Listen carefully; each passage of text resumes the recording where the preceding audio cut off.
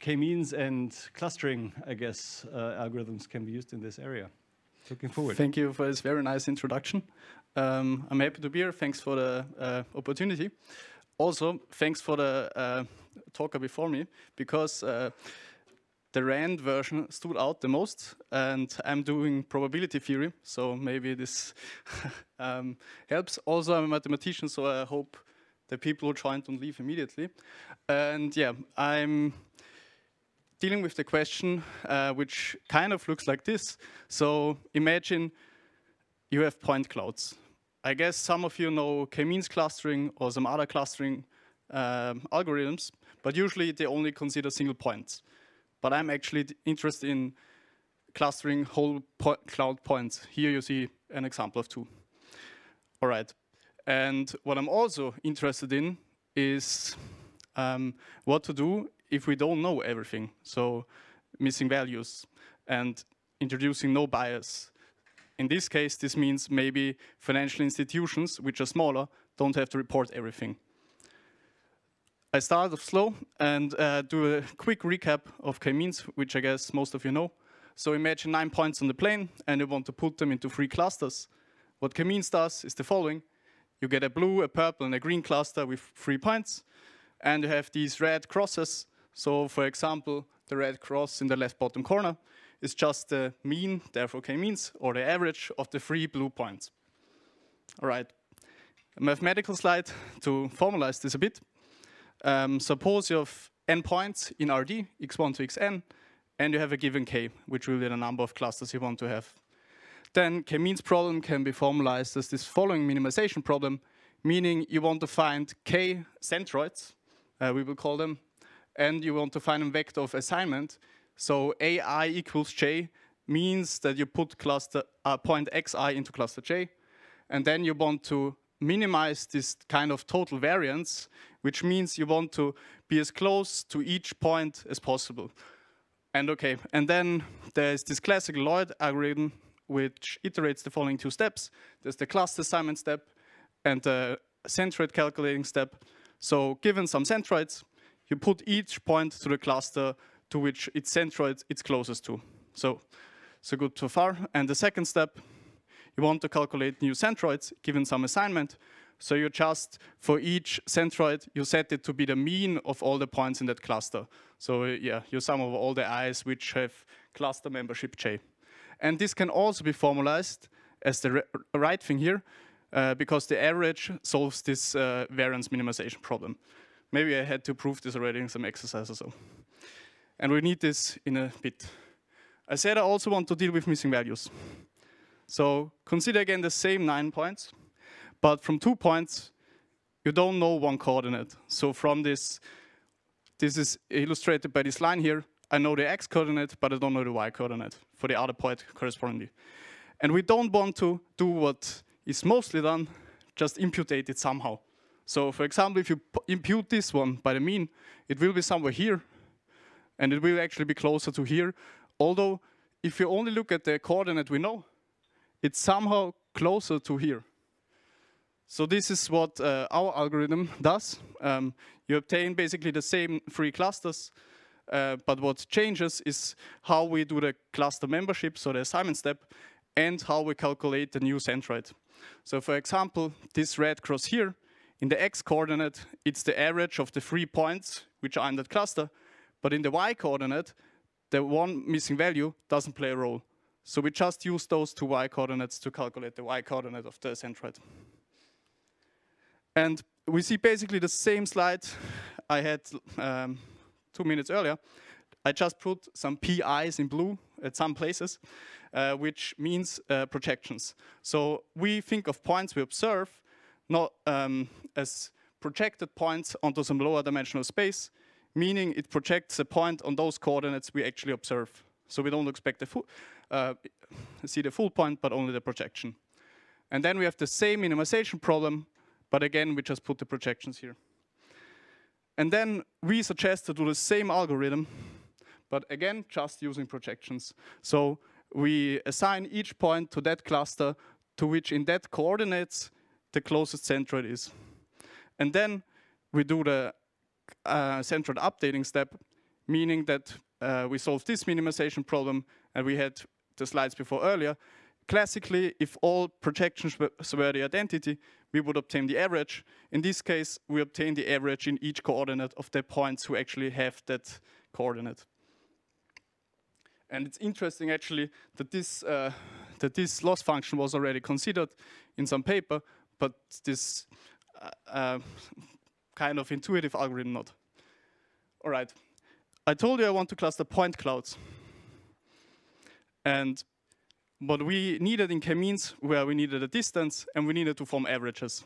So we want to generalize this and we want to do this uh, for point clouds. And but here comes into place the field of optimal transport, uh, which I want to explain uh, very quickly on in a simple case.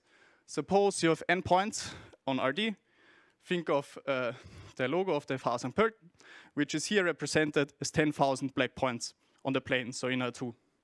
And then you have another set of 10,000 points, let's say the University of Vienna. And then optimal transport is made of two words. The second word is transport. So you actually, a transport is a map which maps each of the black points from the logo of the FH to the logo of the uh, university. And there are many combinations you could do. You could, uh, yeah, I guess it's clear that there could, could be many ways. And then you want to find the optimal one, the second word. So you want to actually choose that transport where as little as possible has to be moved. And then what you obtain is kind of some smoother picture where you see how each particle is moving, basically. And I guess from this you can also see that this is actually highly used in uh, image analysis and all this stuff as well. So all this, like, I don't know if you remember this FaceApp, this Russian app, this was also based on optimal transport. Okay, um, how much time do I have left? Eight minutes even, okay. Then I can also do this mathematical slide. Um, okay, I, we now had um, 10,000 points, but what if the number is different? I mean, this has to also be to be solved somehow. And this can, of course, then be generalized mathematically to so-called probability distributions and probability measures. Um, even even further, but I only talk about this here, but I don't want to use measure theory. Um, but we only consider discrete uh, probability measures, so finite probability measures, which you can ba basically write as a sum with some weights, so meaning how likely it is to draw a point xi, and this delta xi means this is just, if I just write delta xi, it means there's no randomness, it just means I always pick xi. And, okay, and so it means you have n, oh, sorry, uh, okay, here we are. Uh, it means this is a probability measure on n points, and each of those points has, has chance ai to be picked. And analogously for a second measure, um, nu. So those are weights summing to one. And then we don't necessarily have a transport anymore, because if the number of points is not the same, there is no map, basically. And then what we actually consider here are so-called couplings, and we define this set of admissible couplings as the set of all matrices. So n is the number of points of the first measure and m the number of points of the second measure, which has some constraints, meaning that uh, this is then actually a, can be interpreted as a probability measure on uh, product space, meaning on the uh, yeah um, on the space which has um, R2D in this case, and which has the right marginals, meaning if you project it down to the first marginals, you obtain the original measure, and in the other case, the other measure. And then you again have some costs of this coupling, which is basically this, uh, this is a replacement of the previous slide of the sum with the transport map, um, and you again want to minimize this. And then you take a square root, okay, and this what you call have here is the so-called uh, Wasserstein distance. And the Wasserstein distance is then the distance between those, those two probability measures. And again, to come back to the example I had in the beginning, consider two point clouds, then um, we we now hear, okay, you have to look very carefully, but what actually happens is because the number of points is not the same, some points are splitted. So, and also the size of the point is basically the mass, so the probability that it is chosen. So this is also splitted somehow. All right. We now have covered a distance between probability measures. We also need to form means or like some sort of average. And this is uh, so-called Wasserstein centers. And again, if we have n probability measures and some weights, you can forget about the weights if you want, it's not that important. Um, you um, look at the following problem, which basically says you want to find a measure, a probability measure, which is as close as possible to all the other measures you considered in the Wasserstein distance, but you have you cannot be the closest to one, you have to kind of be simultaneously as close as possible. And okay, uh, not speaking mathematically, but maybe just geometrically, or like maybe to give a slight intuition of what this does is, um, I guess everyone knows normal distributions, so consider two, two densities of a normal distribution um, with the same variance, sigma squared, but with different mean, x0 and x1. What the Wasserstein barycenter of those two probability measures is, it's just a normal distribution in between that one would like to have, I guess, in most situations.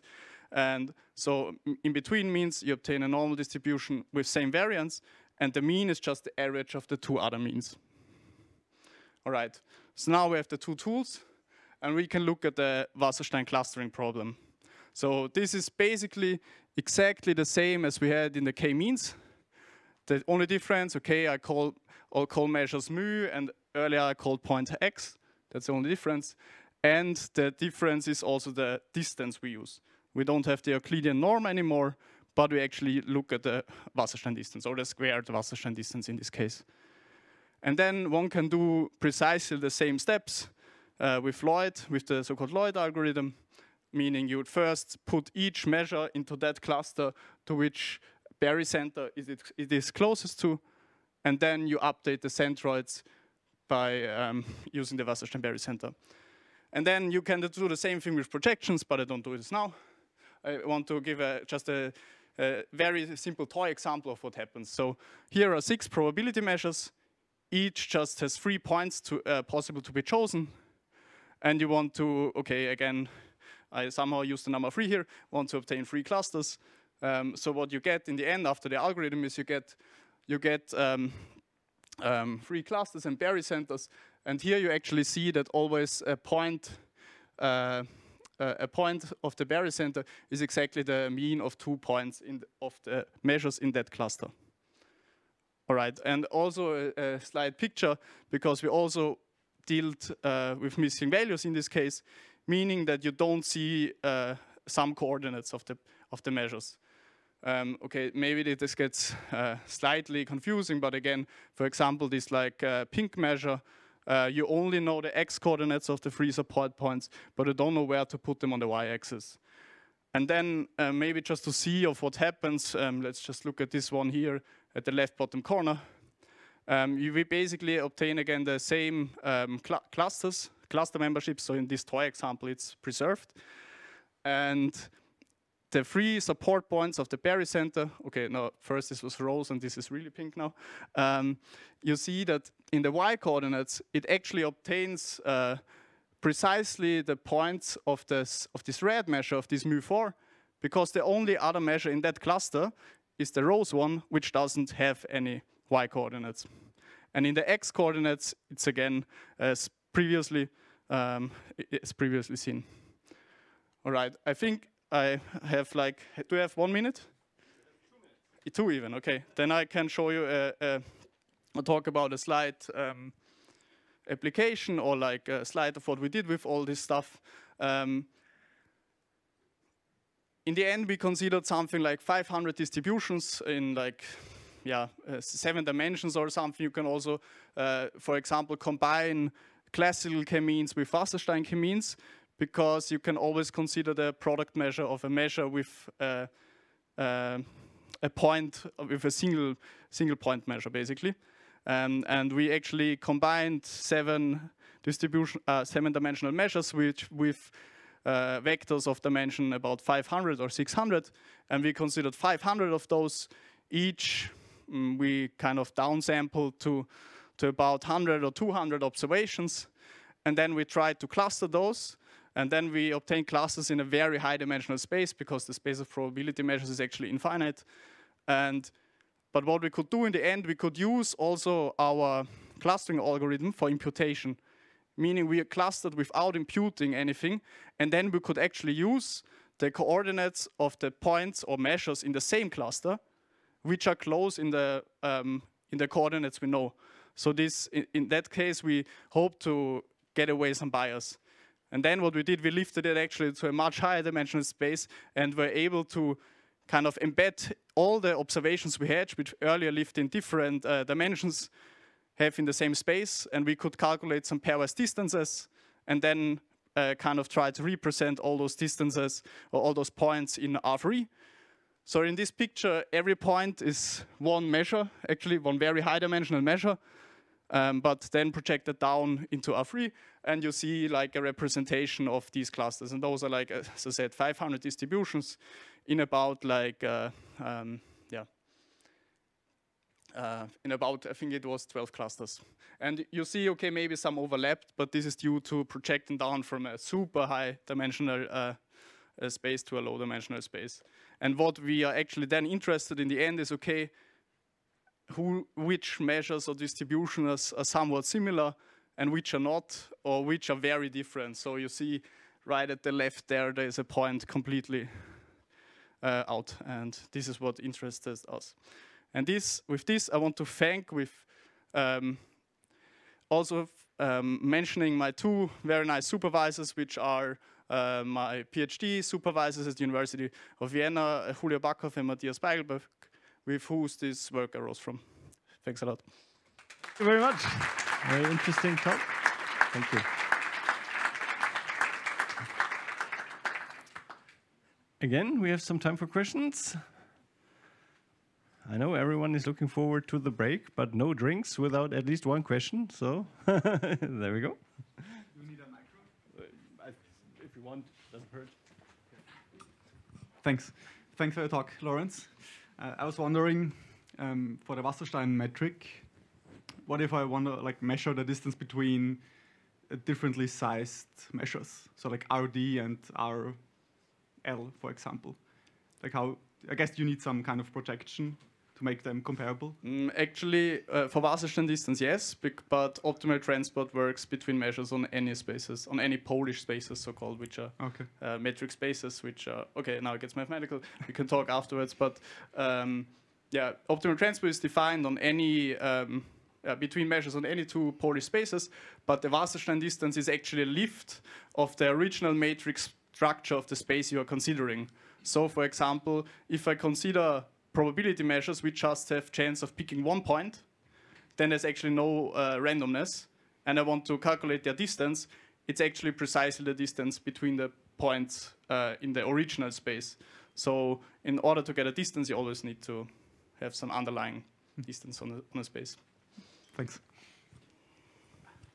Any other question? There's one. You're quicker or I'm quicker? We can see. Go ahead.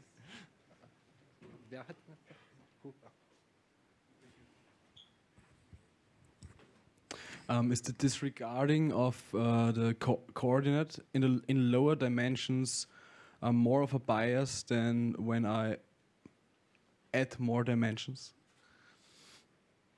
Mm, um, quick questions, uh, quick answer, reply would be no bias because I don't do anything, like I don't introduce information I don't have. So, uh, uh, uh no, in, uh, but, uh, but of course the coordinates which are there play a much bigger role if the dimension is lower. Thank you, because yeah. it was more of, um, if I disregard the y-axis and only have the x-axis, a total outlier of the the data set I wanted to measure. Um, sorry, I lost my thought. Thank you. no, no, no, no, it's completely fine. Um, yeah, the, the, idea was basically just to to not introduce bias, and of course, if it would be a super outlier in the y coordinate, we have no idea. But if you would impute it, you would always have no outlier, basically, because most imputation methods take some sort of mean of the data. But it's, uh, it's uh, I understand also the um, it's it's a bit confusing. Yeah, uh, it's counterintuitive so sometimes. Another question? We still have time for one, I would say. If that is not the case, let's freshen up our minds in the break. Thank you again very much, Lorenz.